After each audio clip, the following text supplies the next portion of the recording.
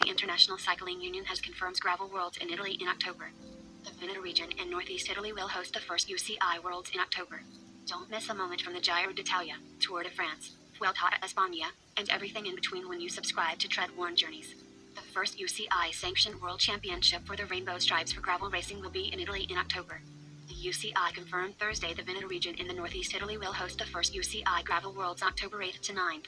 Italy will also host the UCI's Gravel Worlds in 2023. The day for the 2023 edition will be 30th of September and October 1st, 2023, but the location remains unconfirmed. This event will serve as the conclusion to the also new Gravel World Series. It's a new concept. We still have to prove ourselves. It will take a few years, probably three to five. It just takes time. It was the same way with Strade Bianche as a classic.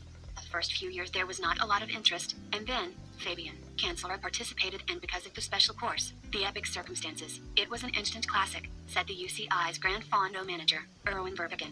The UCI stacked their first foray into gravel racing with two separate endeavors, a 12-event UCI Gravel World Series and the UCI Gravel World Championships. The World Series races are much shorter than what we've been seeing at the popular endurance races such as Gravel Locos, Unbound or SBT Gravel. We don't want to do 200 miles, that's too long. It should be more or less 4 or 5 hours. I wouldn't say short, but not extreme like the US races because you filter out a lot of leisure riders which we want to have as part of the series, said Vervecken. The UCI is betting that some of the biggest names in road racing will want to compete for a rainbow jersey in gravel.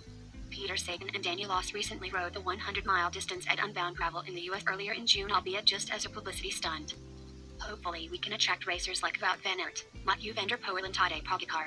It will probably take a few years, but the Gravel World Championships will be at the end of the road season, so for them, it's a fun event at the end of a busy season, said Vervecken.